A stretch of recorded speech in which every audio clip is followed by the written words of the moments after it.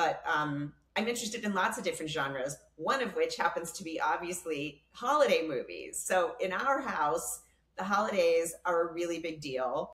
You know, that idea of the holidays for us is really about family. They're also a time for reflection. You know, the holidays are a time when you think about the year and what you did or what you'd like to do or what's coming ahead. And so for me, the holidays are just a rich time of emotion. And so I love holiday movies. I frankly also love the uh, Falderal and Fiddle-Dee-Dee. You know, I grew up, you know, loving, loving, loving the original Grinch Who Stole Christmas so much. You know, those Rankin and Bass movies, you know, Rudolph and Frosty and all right, of them right. stop motion animation forever.